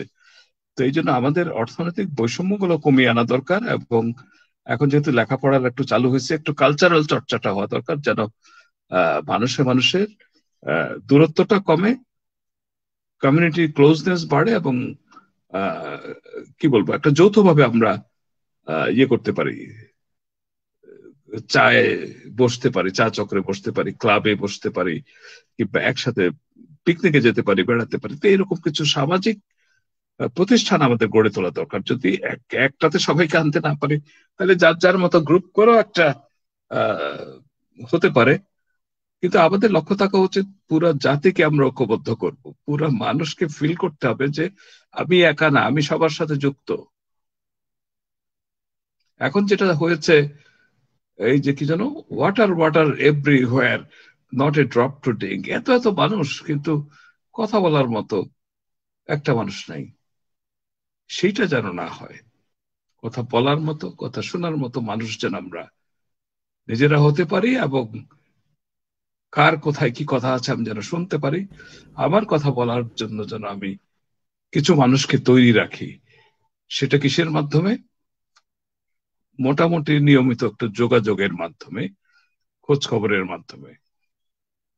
এটা যদি আমরা না পারি, কোনো বয়সের মানুষ যদি ডিপ্রেশন কারণে না পারে লোননেসের কারণে না পারে, তাহলে আমাদের দেশে কিছু ভলান্টিয়ার কর্মসূচি, কিছু সমাজকর্মী, কিছু মনোবিজ্ঞানী লাগবে যারা বাড়ি বাড়ি গিয়ে খোঁজ নেবে এবং একটা চা চক্রে বসার জায়গা করে একটা কমিউনিটি ফিলিংটাকে তৈরি করবে। এটার জন্য প্রয়োজনে যদি আমরা কিছু অর্থ খরচ করতে হয়, কিছু ফান্ড রেজ করতে হয়, সেটাও যেন করি। আমরা খালি এই যে আমাদের যে বাড়িগুলো বিল্ডিংগুলো দেখবেন যে কীরকম। অ্যাপার্টমেন্ট বাড়িগুলো যে ঢাকা শহরে যেভাবে হচ্ছে, অন্যান্য শহরেও একই রকম। এক ইঞ্চি জায়গা ছাড়বে না। প্রতিটা জায়গায় শুধু ঘর আর বাড়ি। একটু উঠান নাই, একটু বাগান নাই। একসাথে যে বসবো, একসাথে বসে চা খাব, সেই জায়গা নাই। আছে পার্কিং লট উপরে প্রতিটাতে অ্যাপার্টমেন্ট গাদা গাদা করে এখানে যে কারা থাকে কোন পাশের বাড়িতে কার ক্লোজ মানুষ কে অসুস্থ হলো কার কি সংকট কেউ কোনো কারও খোঁজ রাখে না। There is no sense of community right ওই যে এই যে অবস্থাটা তৈরি করেছে আমরা কমিউনিটির গুরুত্ব বুঝে নাও। ওই মানুষটা বেঁচে ছিল উনি গ্রামে গিয়ে মানুষের সাথে যুক্ত ছিলেন একশো বিশ বছর উনি বেঁচেছেন। তা এই শহরের মানুষগুলাকে এইভাবে মরে যাবে? উনি হয়তো গুলি করে মেরে মরেছেন। আর একজন নিজের যত্ন করবে না, একা একা থাকবে, উনি, ওনার হয়তো দেখা যাবে যে রোগ বালাই এসে ওনাকে ধরেছে। তো ওই ওই জন্য আমার মনে হয় যে মানুষের পক্ষে একা থাকা আসলেই কষ্টকর। মানুষের পক্ষে লোনলি থাকা কষ্টকর। তো লোনলিনেসটা যেন না হয়, সেটার জন্যই পারিবারিক বন্ধন, সামাজিক বন্ধন কমিউনিটি বন্ধন। আপনি যা বলেছেন, আমি চাই যে সারা দেশের মানুষ একটা বন্ধনে আবদ্ধ হোক। হতে পারে আমাদের মধ্যে কখনো মতে মিলবে মতে মিলবে না। আমাদের ইন্টারেস্টে কখনো মিলবে কখনো মিলবে না। কিন্তু আমরা যেন একত্রে বসে অন্তত চা খেতে পারি, একত্রে যেন কিছু শেয়ার করতে পারি, একজন অন্যের খোঁজ খবরটা অন্তত নিতে পারি এবং মনোযোগ দিয়ে যার যার কথা, গল্প, তার জীবনের অভিজ্ঞতা, এগুলো যেন শুনতে পারে। এটাও কিন্তু অনেক হিলিং অনেক শান্তি দিবে। আচ্ছা আমি একা একা এত কথা বলে ফেললাম। আমি বরং থামি আপনারা যদি আবার কথার পরিপ্রেক্ষিতে কথা বলেন কিংবা অন্যরা যারা আছেন তারাও কিছু বলেন। আমি না হয় আবার পরে ফিরে আসব। অথবা যেভাবে ভালো হয় আপনি যে অনুষ্ঠান পরিচালনা করছেন আমাকে। প্রশ্ন করলেও হবে অথবা আহ, আপনারা কথা বললেও হবে। ধন্যবাদ। স্যার অনেক অনেক ধন্যবাদ স্যার আপনাকে এবং আপনাকে পেয়ে আমাদের এই অনুষ্ঠান সার্থক এবং আমাদের এই আলোচনা রেকর্ডিং হচ্ছে এবং রেকর্ডিং থেকে যাবে। আমরা আবারও রিভিউ আমরা শুনতে পারব, দেখতে পারব। আর বিষয়গুলো আমি জাতীয়ভাবেই আমি উল্লেখ করে এখানে যে সমস্ত কথাবার্তা, সেগুলো যে যাতে পরবর্তী কারও প্রয়োজনে দেখে এখান থেকে কিছু নিতে পারে। আর স্যার আপনার অভিজ্ঞতা এবং আপনার বর্তমান অধ্যাপনা যার উপরে সেখান থেকে আপনি আলোচনাগুলো রাখছেন অত্যন্ত গুরুত্বপূর্ণ বিষয়গুলো। এবং স্যার আমি এখানে আমার যে প্রশ্নটি রয়ে গেছে যেখানে তার তার ফ্যামিলি সদস্য চারজন ফ্যামিলি সদস্য ছিলেন। তো হয়তো একজনের সাথে একটু বেশি মনোমালিন্য বা মতের অমিল বা যেভাবেই হোক কিন্তু চারটা ব্যক্তি তার সঙ্গে যার নামটা বারবারই উঠে আসে, একজন বিখ্যাত বিশ্ব নন্দিত একজন সেখানে একজন অভিনেতার নামও চলে আসে। তো এই ব্যক্তিটি এখানে তিলে তিলে একদিনের ছিল না, অনেক দিনের, এই দীর্ঘ মেয়াদি সে লোনলিনেস সে ফিল করছে বা এখানে মানে সে একাকিত্ব ভোগ করছে। এর মধ্যে কি কারও মধ্যে একটু মানে মানবিকতার দিকটা উদয় হয়নি যে তার আসলে এই পরিস্থিতিটা এখন তার আত্মঘাতীর দিকে চলে যেতে পারে? এই এই বিষয়টা আপনি কোন বিষয়ে এই হিসাবে এই এই যে আত্মঘাতের ব্যাপারটা আমাদের সমাজে সচেতনতা কম। আর হয়তো ওনারাও যার যার জীবনে ব্যস্ত মানুষ তো ওরা। আহ, তো কে যে মানবিমান করে চলে যাওয়ার কথা ভাবছে এটা তো আহ, আগে থেকে খুব কাছে না থাকলে এবং খুব কিনলি অবজার্ভ না করলে এটা টেরই পাবো না। তো উনি ওনার পরিস্থিতি এবং অন্যদের পরিস্থিতি তাহলে সবার কথা শুনতে হবে। এখন চাইলে আমরা এই যে এটাকে ইয়া বলে অটোপসি পোস্টমর্টমের মতো মনস্তাত্ত্বিক পোস্টমর্টম করা যায়। যে কি সম্পর্ক ছিল কি নিয়ে মানবাভিমান ছিল হয়তো দেখা যাবে যে উনিও গুটিয়ে আছেন বাকিরাও রাগ করে গুটিয়ে আছে ঘরে বিষয় দেখেন এখানে প্রায় ষোলো মিনিট কথা হয়েছে। এই ষোলো মিনিটের মধ্যে আমার সঙ্গে যদি উনি সংযুক্ত থাকতেন বা ওনার ভিডিওটি যদি শুরু থেকে আমি দেখতাম তো তাৎক্ষণিক আমার বোধ হয় আমার ব্যক্তিগতভাবে আমার ভিতরে একটা কাজ করছে যে how can call him how can contact him এই যে মানবিক মানে দৃষ্টিভঙ্গির লোকগুলোর কি একটা লোক কি দেখছিলেন না? অথবা এখানে যে প্রশাসনিক বিষয় রয়েছে বাংলাদেশে যারা সুরক্ষা বাহিনী বা শান্তি সুরক্ষায় যারা কাজ করেন এদের থেকে কি আমরা কিছু আশা করতে পারতাম না? যেটুকু সময় উনি যে লাইভে আসতেন তারা সেটা হচ্ছে একটা প্রশ্ন। তারা যদি বুঝতে পারতো যে উনি এটা করবেন, তাহলে তারা হয়তো ওনাকে কথা বলতে পারতো মেসেজ পাঠাতে পারতো, অথবা ফোন করতে পারতো যারা আছে। এইটা আমাদের দেশে আইনটা অত মজবুত না। আমি কানাডার কথা জানি, ওখানে যদি কেউ সুইসাইডিয়াল হয়, তাহলে এটা পুলিশকে রিপোর্ট করতে হয় এবং পুলিশ এসে তাকে রেস্কিউ করবে এবং দরকার হলে হসপিটালে ভর্তি করে দিবে।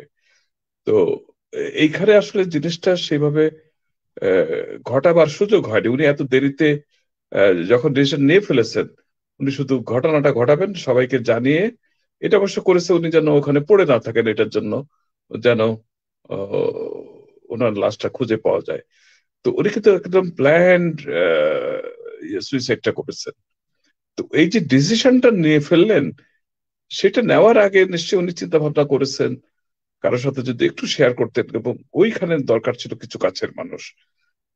যারা তখনই বলতো যে, না, চলে না, আমরা একটু আলাপ করি, কোথাও জায়গা মতো। সেটা সাইকিয়াট্রিস্ট হোক, সাইকোলজিস্ট হোক, কাউন্সিলর হোক, অথবা পরিবারের মানুষ হোক সেটা হতে পারতো। তো আমাদের সমাজের সচেতনতা বাড়াতে হবে। আমাদের প্রতিটা প্রতিষ্ঠান, সেটা পুলিশ হোক, সোশ্যাল ওয়ার্ক ডিপার্টমেন্ট হোক, হেলথ ডিপার্টমেন্ট হোক, অথবা অন্য যে কোনো তাদের কর্মসূচি লাগবে। আমাদের একটা জাতীয় সুইসাইড প্রিভেনশন প্রোগ্রাম দরকার। এটা স্যার সে পৃথিবীর এ- অনেক দেশে আছে। জি স্যার এই- প্রকল্পটি স্যার আমরা কি আপনার মাধ্যমে বা আপনি যেহেতু এখন বর্তমানে এই ঢাকা বিশ্ববিদ্যালয়ের মতো একটি প্রতিষ্ঠানে রয়েছেন সেক্ষেত্রে আপনি আপনার উদ্যোগে আমরা আপনার সহযোগিতায় কি কাজটি করতে পারি কিনা শুরু করতে পারি? করা যাবে। এইটা অলরেডি একটা ফাইল ছিল ওই যে ইয়েতে যশোরে একটা এলাকায় আসতে না খুব সুইসাইড হয়? জি স্যার। এই শৈলকুপা থানা আর ঝিনাইদহ ঝিনাইদহ না তো? কোন একটা এলাকায় যেন হয়। শৈলকুপাই তবে একটা থানায় খুব সুইসাইড বেশি হয়। তো ওইখানে একটা এনজিও গ্রুপ কাজ করে তারা একটা ফাইল মুভ করেছিল এবং এটা সরকারি পর্যায়ে ফাইল চালাচালির মধ্যেই ছিল। তারাও আমাকে একটু জানিয়েছিল যে আমরা একটু চেষ্টা করছি এরকম কিছু করা যায় কিনা। আসলে ইন্টারন্যাশনাল আপনি যদি একটু ইন্টারনেট সার্চ দেন সুইসাইড প্রিভেনশন ডে আছে আমাদের। যেমন ওটা হলো দশই সেপ্টেম্বর এন্টি সুইসাইড সুইসাইড প্রতিরোধ দিবস।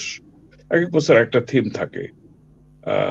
তো সুইসাইড প্রতিরোধের ব্যাপারে যেটা বলা হয় যে একটা ন্যাশনাল প্ল্যান থাকা দরকার, এমনকি লোকাল প্ল্যান থাকা দরকার। আমাদের চিনতে হবে কোন মানুষটা সুইসাইডিয়াল হয়ে যাচ্ছে এবং কি কারণে হচ্ছে। যেসব কারণে হচ্ছে, সেই কারণগুলো দূর করার জন্য আমরা তাহলে প্রোগ্রাম নিব, ব্যবস্থা নিব এবং আমরা আর্লি ডিটেক্ট করব যে কার ভিতরে কি কারণে সুইসাইডাল চিন্তাটা করতে হচ্ছে।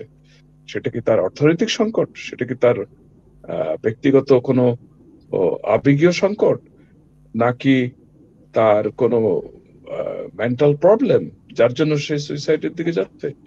যেটাই হোক ওইটার ব্যবস্থাটা আমাদেরকে ওই যে ঘরে পৌঁছে দিতে হবে ঘরে। ওই যে জাফরুল্লাহ সাহেবের মতো গণস্বাস্থ্য উনি করলেন না? জি। আমরা খালি হসপিটাল প্রাইভেট হসপিটাল করি। প্রাইভেট হসপিটালে দাম দিয়ে ভর্তি হতে হবে। আচ্ছা যেগুলা উন্নত চিকিৎসা দরকার যাবে যার টাকা আছে সেও যাবে। অন্যরাও যেন টাকা কম থাকলেও তারা যেন সুযোগ পায়, কিছু সাবসিডি দেওয়া উচিত। ভালো চিকিৎসা অধিকার সবারই থাকা উচিত। সে টাকা দিতে পারুক কিংবা নাই পারুক, আমাদের সেই হেলথ ইন্স্যুরেন্স লাগবে। কিন্তু এই যে সুইসাইডের মতো ব্যাপারটা, এইটা কিন্তু সবার একটা অধিকার থাকা উচিত, বাঁচার অধিকার। এবং এইটা জানার অধিকার যে কার মনে মৃত্যু চিন্তা এসছে। এবং সেও যেন একটা মানুষকে জানায় এটাও এনকারেজ করতে হবে। একটা যেন ফোন নাম্বার থাকে যে আমার এরকম চিন্তা এসছে। আছে কিছু কিছু, কিন্তু অনেকে এটার খবর জানে না। ওই যে কান পেতের ওই একটা আছে, আমাদের ছাত্রছাত্রীরা একটা প্রজেক্ট করেছে। এটা তো মনে হয় যে জাফর ইকবাল স্যারের ফ্যামিলি থেকে ওনার মেয়ে করেছিল। তা আমাদের স্টুডেন্টরা অনেকেই ইনভলভ হয়েছে কান পেতে রইতে তো কান পেতে রই কান পেতে বসে আছে যে কে তার কষ্টের কথা, তার সুইসাইডের ইচ্ছার কথা। মানে আবেগের কথাগুলো বলবে। বলতে গেলে কিন্তু যেটা হবে যে আমরা কিন্তু কিছুটা হলেও তাকে একটা কথা বলার ভিতরে নিয়ে আসতে পারি এবং আলটিমেটলি ওনার আসলে সমস্যাটা কি, সেটা সমাধানের জন্য আমাদের যে যে ডিপার্টমেন্ট দপ্তর আছে তারা যেন একটা কম্প্রিহেন্সিভ প্ল্যান করা যায়। যে, কিন্তু আমি দেখেছি আমাদের সরকারি অনেক প্রোগ্রাম আছে, কিন্তু কেউ ওখানে গিয়ে যে সময় মতো তাৎক্ষণিক ইমার্জেন্সি সার্ভিস পাবে অনেক সময় পায় না।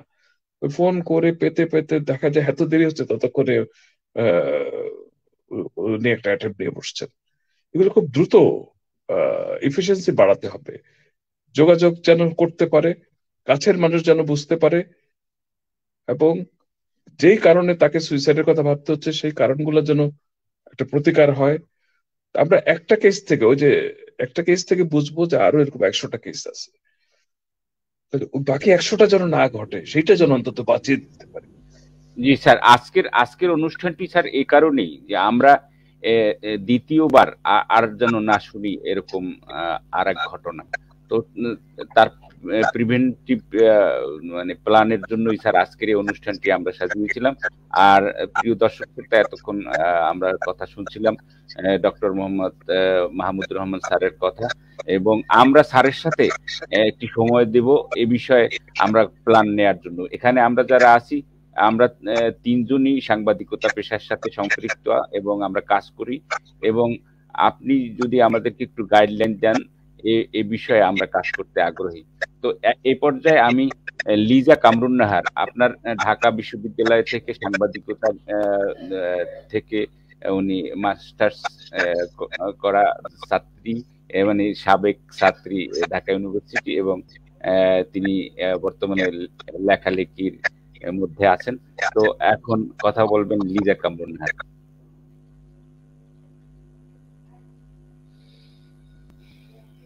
আপনার মাইকটা আনমিউট করে দেন। আচ্ছা ঠিক আছে। এখন ঠিক আছে, এখন ঠিক আছে। আমি আমি অনেক বেশি কৃতজ্ঞতা জানাচ্ছি আমাদের শ্রদ্ধেয় স্যারকে। অনেক কিছু জানলাম স্যারের কাছ থেকে যে আসলে একটি পরিবারের বন্ধন বলতে শুধুমাত্র একটি পরিবারের সদস্যগণকে বোঝায় না, প্রয়োজন একটি কমিউনিটি পরিবার গঠন করতে পারি বা শেয়ারিং কেয়ারিং এর একটি জায়গা থাকতে পারে বা আমরা কাজের মাধ্যমে বিজি থেকে আমরা নিজেকে ভালো রাখতে পারি। তো এই কথাগুলো খুবই জরুরি ছিল আমাদের দর্শকদের জন্য এবং আমাদের নিজেদের জন্য। আমি একটি বিষয় স্যারের কাছে জানতে চাচ্ছি, সেটি হচ্ছে যে যারা হতাশাগ্রস্ত হয়ে পড়ে, তখন তাদেরকে যদি সাইকিয়াট্রিকের কাছে নিতে নিতে চায় কোনো পরিবারের সদস্য, অনেক সময় তারা যেতে চায় না।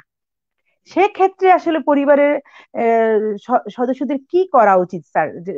যারা এই ধরনের একঘেয়েমির কারণে তারা ডক্টর দেখাতে চায় না বা নিজের যে মানুষ মেন্টালি সিক মানসিক স্বাস্থ্যের যে এক যে আহ, চিকিৎসার দরকার যে বিষয়টি মানতে চায় না সেক্ষেত্রে পরিবারের অন্য সদস্যদের কি করা উচিত? আহ, আমার মাইক তাহলে ওপেন করা হয়েছে। এটা আসলে দেশ ভেদে ভিন্ন হবে এবং আমরা যদি এটা আহ, জনসচেতনতার মাধ্যমে ওই পর্যায়ে যেতে পারি যে একটা হচ্ছে মানুষকে উদ্বুদ্ধ করা যে কখন আমি যাব। যাওয়ার মানে এই না যে আমি অসুস্থ। যাওয়ার মানে এই যে আপনাকে ওই যে কথাবার্তা বলে পরীক্ষা নিরীক্ষা করে দেখা হবে যে আপনার মধ্যে সমস্যা আছে কি নাই। নাই তো আপনি বাড়ি চলে যাবেন। আর যদি সমস্যা থাকে তাহলে সমস্যা নিয়ে কেন ভুগবেন? সেটা নিয়ে ডায়লগ হবে, আলোচনা হবে। আমি জানি যে আমি আফ্রিকাতে যেমন কাজ করেছিলাম বোতসোয়ানাতে ওখানে একটা নিয়ম আছে যে যে কেউ গিয়ে কোর্টে নালিশ করতে পারে যে ওই মানুষটার সমস্যা আছে। ওকে আচ্ছা। ইয়ে করা হোক ব্যবস্থা নেওয়া হোক। কোর্ট তাকে ডাকবে যে তোমার নামে অভিযোগ পাওয়া গেছে যে তোমার মানসিক সমস্যা আছে। তাহলে কি করা? তো তুমি ভর্তি হও হসপিটালে মানসিক হসপিটালে তুমি থাকতে হবে। সাত দিন থাকবা ওখানে তোমার যত্ন হবে। তুমি শুধু থাকবা এবং যা যা পরীক্ষা করার ওরা করবে। সাইকিয়াট্রিস্ট কিংবা সাইকোলজিস্টরা মিলে তারপর একটা রিপোর্ট দিবে। কোর্টে আসার পর যদি দেখা যায় যে এটা ইয়ে কোনো সমস্যা নাই তাহলে তাকে খালাস দিয়ে দিবে। আর যদি দেখা যায় সমস্যা আছে কোর্ট বলবে যে এবার তাহলে কি করা? তো তো চিকিৎসা নিতে হবে। এনকারেজ করবে এবং কোর্ট কিছুটা পার্সুয়েট করবে। তা আমাদের দেশে এরকম আইন একটা করা যাবে? যদি সে আসতে না চায় আমরা তাকে আনব। প্রথমে বুঝিয়ে সুঝিয়ে আনব আমরা জোর করে আনতে চাই না। কিন্তু আমরা কোর্ট এবং আমাদের স্বাস্থ্য ব্যবস্থা, আমাদের যে সোশ্যাল ওয়েলফেয়ার মিনিস্ট্রি এবং অথবা আমাদের পুলিশ তারাও যেন যুক্ত থাকে। তবে আমি যেটা বললাম যে আমরা যদি কমিউনিটি সাইকোলজি করতে পারি, বাড়ি বাড়ি যাব আমরা, ওই গণস্বাস্থ্যের মতো। আমরা মাঝে মাঝে এসে ঘরে বসে কথা বলব। ঘরে ওই যে পায়ে, কি যেন বেয়ার ফুটের ডক্টর যেমন করেছে, যে গ্রামে গ্রামে বাড়ি বাড়ি হেঁটে হেঁটে ওনারা খোঁজ নেন মানুষ কেমন আছে। তো তেমনি আমরা লাইক অ্যানথ্রোপোলজিস্টের মতো আমরা খোঁজ নেব যে কোন মানুষ কেমন আছে, কার কি চাহিদা আছে। এমন হতে পারে সে হয়তো ঠিক মতো খাওয়াই পাচ্ছে না। সে কিংবা উনি ঘরে রান্না পাচ্ছে না, হয়তো বাইরের খাওয়াটা পাচ্ছে, হোটেলের খাওয়া খাচ্ছেন। তো ওটা খেয়ে তো আরাম পাচ্ছেন না। অথবা খাওয়ার সময় যে একটা মানুষ কাছে থাকবে, একসাথে বসে খাবে, সেই সঙ্গটা পাচ্ছে না। এখানে কার কি চাহিদা? সেটা তৈরি করার জন্য দরকার হলে আমরা কিছু মানুষ একত্রে বসে খাওয়ার সময় মিট করব। তো এই যে ছোট ছোট প্রোগ্রাম ভলান্টিয়ার প্রোগ্রাম করা যেতে পারে, যেন মানুষের একটা মেন্টাল পিস হয় মেন্টাল রিল্যাক্সেশন হয় এবং সোশ্যাল কমিউনিকেশনটা বাড়ে।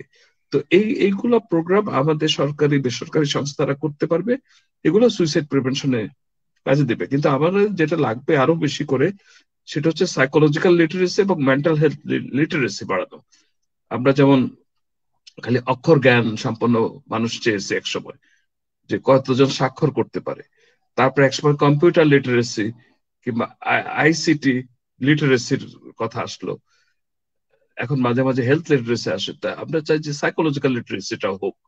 মানুষ যেন জানে যে আমাদের একটা মন আছে, মনের যত্ন নিতে হয়। আমি যেন বুঝতে পারি কখন আমার মন খারাপ মন খারাপ হলে আমার শরীরটাও খারাপ হতে পারে। আমি হয়তো ঘুমাতে পারব না, মনোযোগ দিতে পারব না, কাজকর্ম করতে পারব না। তখন গাড়ি চালাতে গেলে আমি অ্যাক্সিডেন্ট করব, তাহলে আমি আনফিট হয়ে গেলাম। তাহলে রিস্ক যেন আমরা না নিই। তো এই যে একজন আরেকজনের মনের যত্ন কি করে নিতে পারি, সেটা আমরা শিখব। এবং কখন আমরা একজন মনোবিজ্ঞানীর কাছে অথবা একজন সাইকিয়াট্রিস্টের কাছে যেতে হবে, সেটাও যেন মানুষের এই লিটারেসির ভিতরে এসে যায়। তো তাহলে আপনারা সাংবাদিকরা এই ব্যাপারে অনেক ভালো উদ্যোগ নিতে পারেন।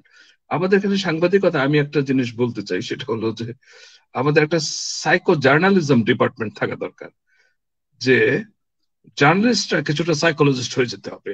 আপনার সাইকোলজিক্যাল কেসে স্টাডি করে একটা সাইকোলজিক্যাল দৃষ্টিভঙ্গিতে কোন একটা মডেলে রিপোর্টটা করবেন। তাহলে আপনারা হবেন সাইকো জার্নালিস্ট স্যার আমরা সাইকো জার্নালিস্ট হিসেবে আপনার কাছ থেকে একটা কোর্সের আশা করব। হ্যাঁ অবশ্যই। করা যাবে। ওই একবার আমাকে একদিনের জন্য ডাকলো। আমার বন্ধু ছিল দায়িত্বে। আপনাদের ওই যে ওই ইয়েতে মি- মিরপুরের ওই দিকটা একটা আছে না ট্রেনিং সেন্টার ওই সারাদিন ও আমাকে ডেকে রাখল এবং সাংবাদিক এসছিল সব মিডিয়ারই। সারাদিন ওদের সাথে কথা বললাম কি গল্প করলাম। কি নিয়ে? চাইল্ড ডেভেলপমেন্ট নিয়ে। যে বাচ্চার বিকাশ কীভাবে হয়? হতে হতে কখন বাচ্চার সমস্যা হয়ে যায়? কি ধরনের হেল্প তখন লাগবে? ওরা অনেকে বুঝলো এবং শেষের দিকে আলোচনা হচ্ছিল যে কোন বিষয়গুলো রিপোর্টিং এ আসা উচিত। তো সেটা আমরা অনেক কথা বলতে বলতে বের করলাম। তো এইরকম সাইকো জার্নালিস্ট আপনারা সাংবাদিকরা যদি সুইসাইড নিয়ে সচেতন হতে চান মেন্টাল হেলথ নিয়ে হতে চান সাইকোলজি নিয়ে হতে চান মন নিয়ে হতে চান মনের যত্ন নিয়ে হতে চান এসবই করা যাবে। আহ, তবে ইয়ে করতে হবে সেটাকে অর্গানাইজ করে আহ, সময়টা করতে হবে সময় বের করতে হবে। স্যার, আপনার শত ব্যস্ততাও আমাদের এই বিষয়ে একটু আমাদেরকে সময় দিবেন বলে আমরা প্রত্যাশা করি এবং এ- বিষয়ে আর কোনো প্রশ্ন আছে কিনা আফরোজা তালুকদারকে স্যারের সাথে কথা বলার জন্য অনুরোধ করছি।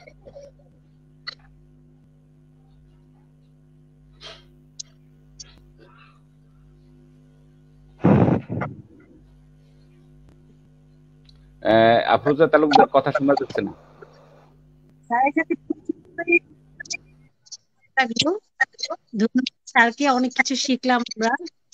আর যদিও আমি সাংবাদিক, একটা পত্রিকার সম্পাদক, ঠিক আছে, পরবর্তীতে কীভাবে স্যারের কথাগুলো নিয়ে আরেকটু মডিফাই করে কাজ করা যায়, সেই চিন্তা আমি এখন থেকে নিচ্ছি।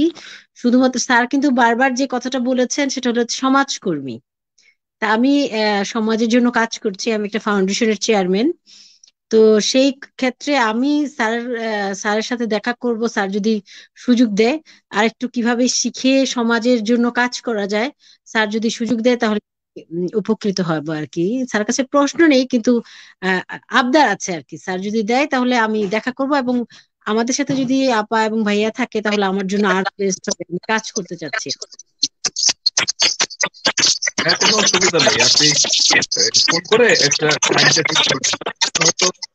নানা ক্লাস ব্যস্ততা থাকে, আপনাদেরও থাকে। ওই যে উনি যেমন ওই যে মাসুম বিল্লাহ সাহেব আমাকে উদ্বুদ্ধ করে আজকে বের করে নিলেন। আমি শুধু বলছিলাম যে একটু রাত বেশি হলে আমার জন্য সুবিধা হয়। কোথায় যাই, কখন আসতে পারি কিনা বাসায় সময় মতো।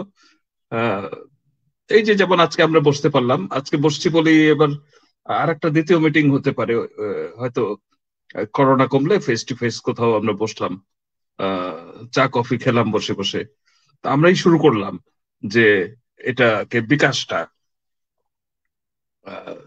ছড়িয়ে পড়বে আর কি মানুষে মানুষের যোগাযোগ। জি।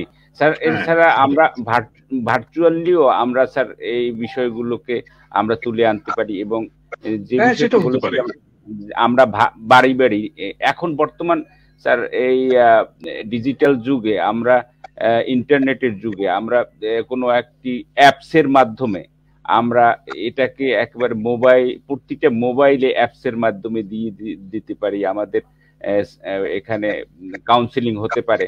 তো এই এই বিষয়গুলো নিয়ে স্যার আমরা একটা প্রজেক্ট প্রকল্প আপনার করে আপনার সাথে আমি, আমরা দেখা করব এবং আপনি যদি আমাদেরকে একটু সময় দেন তাহলে আমরা ইনশাল্লাহ কাজটি শুরু করব।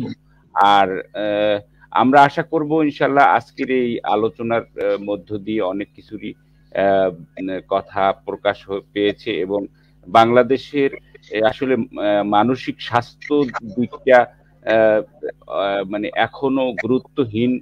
এ বিষয়ে আমি স্যারের কাছে স্যারের কাছে এবং স্যারের মাধ্যমে মানসিক স্বাস্থ্যের উপরে আরও গুরুত্ব যাতে আসতে পারে এবং স্যার ইতিমধ্যে বলেছেন বলে দিয়েছেন যে সচেতনতা বৃদ্ধি। সেক্ষেত্রে আমরা ইনশাল্লাহ কাজ শুরু করব। আর আজকে যারা দর্শক শ্রোতা আমাদের ছিলেন, সবাইকে আবারও প্রীতি ও শুভেচ্ছা এবং আমরা স্যারকে আবারও আমরা আপনাদের কাছে নিয়ে আসব এবং সাইকোলজিক্যাল বিষয়টি এখন আর হেলাফেলার বিষয় নয়। এটিকে যতই অবহেলা করব, আমাদের ততই আমাদের জাতি আশঙ্কা থেকে যাবে জাতিকে রক্ষা করার ক্ষেত্রে। যেমনি ভাবে আমাদের ঘটে যাওয়া অপ্রত্যাশিত ঘটনা, আরেকটি না হোক সেটাই আমরা প্রত্যাশা করি এই অনুষ্ঠান থেকে। আরেকটি বিষয় স্যারের কাছে আমি সর্বশেষ কথা বলে আমরা আজকের এই অনুষ্ঠান শেষ করব। অনুষ্ঠান প্রায় এক ঘণ্টার উপরে চলেছে, এক ঘণ্টা দশ মিনিট। তো স্যারের কাছে জানতে চাইব যে আপনার মাধ্যমে মাননীয় প্রধানমন্ত্রী এবং মাননীয় স্বরাষ্ট্রমন্ত্রী সহ যারা শান্তি শৃঙ্খলায় এবং যে সরাসরি আমি বলব যে পুলিশ বাহিনী তারা এই ক্ষেত্রে কি কি পদক্ষেপ নিতে পারে বলে আপনি মনে করেন? কোন ব্যাপারে? মানে সুইসাইডাল ব্যাপারে। প্রিভেনশনে? না. আমাদের আইনগুলো পরীক্ষা করে দেখতে হবে এবং ওনারাও যেন স্যার আমি আমি একটু একটু আপনার আপনার মানে একটু শেয়ার করতে চাচ্ছি। যেমন আমরা দেখতে পাই উন্নত রাষ্ট্রগুলোতে একটা কুকুর মারা যাওয়ার পূর্বেও তাদের যে একটা তাৎক্ষণিক পদক্ষেপ কোন একটা প্রাণীকে উদ্ধার করতে সেখানে হেলিকপ্টার ব্যবহার করা হয়। সেখানে আনুষঙ্গিক নানা কিছু আয়োজন করে তারপরে সেখান থেকে উদ্ধারের যে চেষ্টাটা করা হয়। সেইভাবে কিন্তু আমাদের দেশে আমি এখন পর্যন্ত আমার কাছে পরিলক্ষিত হয়নি আপনি সেই বিষয়গুলো আপনি অবশ্য বলেছেন যে মানে আদালতের মাধ্যমেও শারীরিক বিষয়গুলোকে মানসিক বিষয়গুলোকে তুলে ধরা যায় বা মানসিক। রুগীদেরকে আইডেন্টিফাই করা যায় মানসিক রুগী থেকে মানে সচেতনতা সৃষ্টি করা যায়।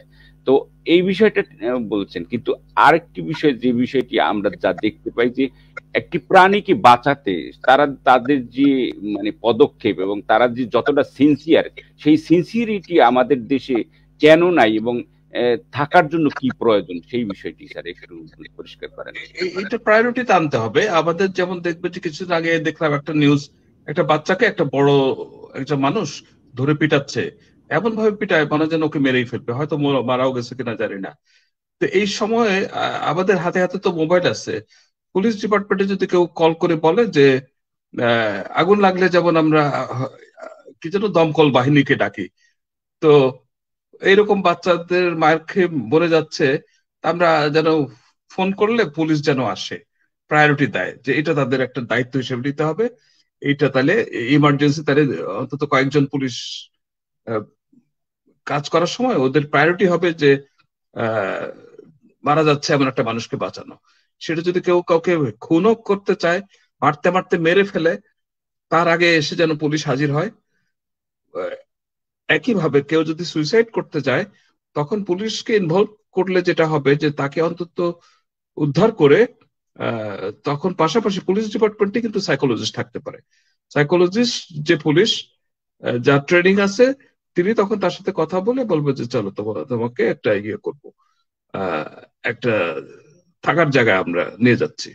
সেটা যদি সে একটু ভালো থাকে, তাহলে একটা হোস্টেল কিংবা থাকার জায়গা হবে। আর যদি মনে হয় যে, না, ওর হসপিটাল লাগবে, ডাক্তার, নার্সদের কাছে থাকবে এবং তখন একটু স্টেবিলাইজ হলে তখন তার কাউন্সিলিংটা শুরু হবে। তো পুলিশ লাগবে এই জন্যই কারণ আত্মীয় স্বজন পরিবারের মানুষের কথা অনেক শুনতে চায় না তারা। তো এই ক্ষেত্রে দেশের আইনটা ক্লিয়ার থাকতে হবে যে পুলিশের মানে না যে তাকে অ্যারেস্ট করছে অ্যারেস্ট না। তাকে সহায়তা করছে চিকিৎসাটা দিতে উপযুক্ত চিকিৎসাটা দিতে। এইটুকু পুলিশের হেল্প লাগবে। পুলিশ পুলিশ ডিপার্টমেন্টেরও আমার মনে হয় ওদেরও ট্রেনিং লাগবে মানসিক স্বাস্থ্য কি জিনিস এবং কোন ধরনের কেস কোথায় কি চিকিৎসা লাগবে? এটা যেন ওনাদেরও একটু ধারণা থাকে। যেন কি বলা যায়, ভুল চিকিৎসা না হয়, জোর জবস্তি যেন করতে না হয়। ওনারা সুন্দরভাবে কথা বলবেন এবং উপযুক্ত জায়গায় পৌঁছে দিবেন। মানুষটাকে যেন তার যত্ন হয় এবং তার চিকিৎসাটা হয়।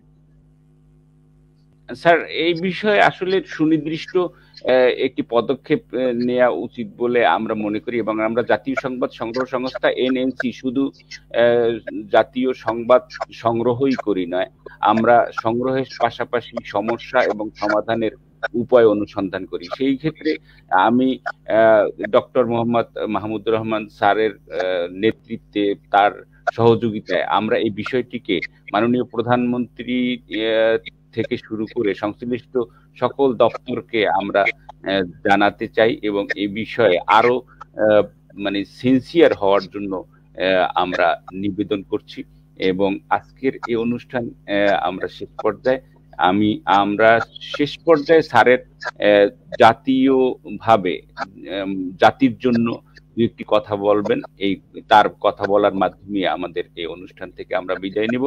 সবাইকে আবারও শুভেচ্ছা, সবাইকে শুভরাত্রি।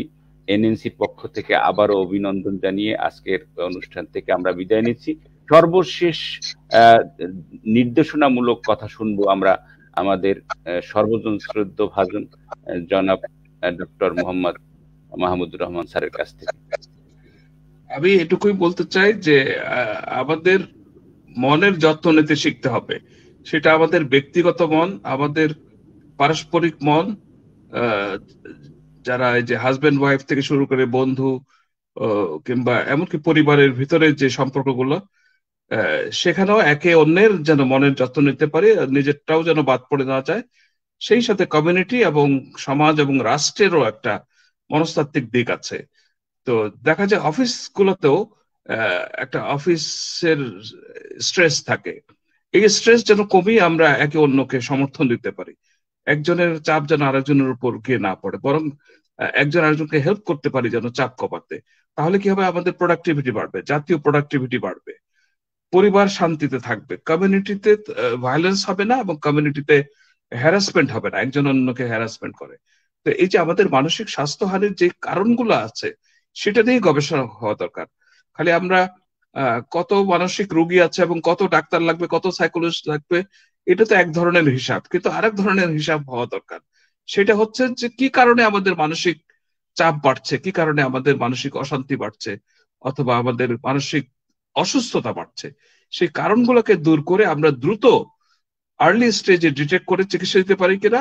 সুইসাইড ঘটার পর আমরা হাহুতাশ না করে যেন সুইসাইডের চিন্তা যখন আসছে, তখনই তাদেরকে আমাদের কি বলা যায়, নজরদারির আওতায় নিয়ে আসতে পারি কিনা। সেই রকম একটা কালচার সেই রকম একটা কি বলা যায়, যত্নশীল মানুষ কেয়ারিং মানুষ আমরা যেন একে অন্যের জন্য হতে পারি এবং আমরা যেন একে অন্যকে সাহায্য, সহযোগিতা, সমর্থন দিয়ে এই দেশে একটা সুন্দর পরিবেশ এবং সুন্দর বাঁচার মতো একটা আনন্দ ঘন পরিবেশ গড়ে তুলতে পারি। এইটুকু বলে আমি থামছি। সবাইকে ধন্যবাদ। সবার মঙ্গল এবং মানসিক স্বাস্থ্য কামনা করছি। ধন্যবাদ। লিখে সঠিক যে সাংবাদিক করছে জাতির কল্যাণ, সেই হৃদয়ে কথাও মালা থাকে যেন চির অম্লান।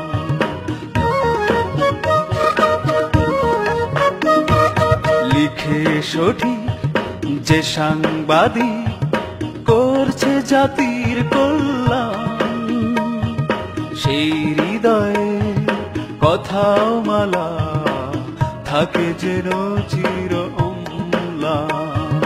চাই তাদের মেধার মূল্যায়ন, করছে নেনসি নতুন মেলার আয়োজন। সংবাদ মেলা